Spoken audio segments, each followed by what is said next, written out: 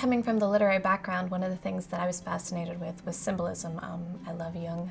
Um, give me some Joseph Campbell. Give me, you know, give me my archetypes and my monomyths, and and all of those sort of clues. It's a mystery. And so I always enjoyed looking up names and, oh, what does that mean? Um, and when I'm, when I'm meeting my characters and I'm getting to know their personality, I need a name that reflects that. Names are powerful. Words have power and I want my characters to breathe for me, so I give them names that have power and identity. And so with, with Wicked Lovely, the first thing I knew was I knew Ash's name. Um, her name in Gaelic means vision or dream. And I knew that this was a girl who could dream summer into existence. I, that, was, that was the core of what I knew was that she was a girl who could dream. And then I looked at it, and the short version of her name is Ash. Ash is what is left when we are burned, like by the sun.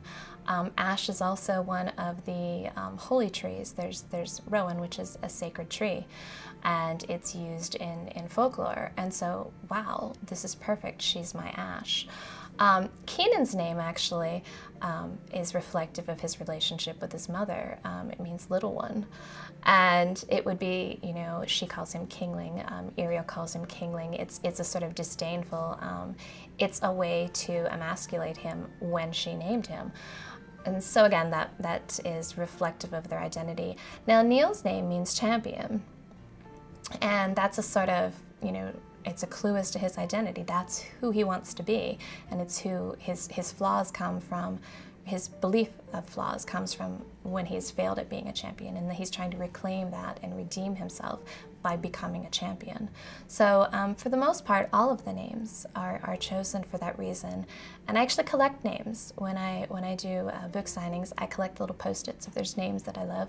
Um, I collect them from my spam folder sometimes, but I always look them up to make sure that the etymology reflects that character.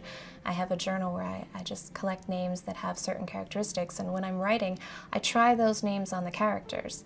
And until I find the name that clicks, that fits that character's personality, I can't write. I need that. And so it's just, it's very important to me.